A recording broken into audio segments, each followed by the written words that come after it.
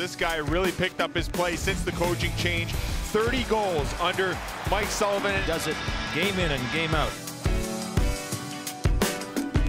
There's no other player in the NHL like him. He's a dangerous penalty killer. He can play D. He's lethal on the power play, and he's a 40-goal scorer. Just done everything this season.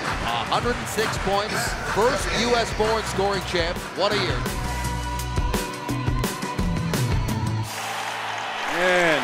The winner is